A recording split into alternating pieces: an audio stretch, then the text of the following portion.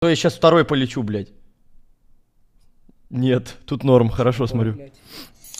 Что это? На самом деле, Стрей уже 7 лет держит меня в шкафу. И иногда выпускает пописать и поесть, но в основном я ем в шкафу. И еще Ебанутый. он своим пальцем, мне сложно об этом говорить. Давайте дальше. Я несколько раз сбегал из шкафа, брал у него ноут и донатил на стриме. Кто-то думал, что это шутка, но нет, это не так. Что? И благодаря Что, блядь? я сейчас здесь. Меньше, чем три. Тихо, тихо, блядь! Да ёб твою мать, тихо. Что, блядь? Я сейчас здесь.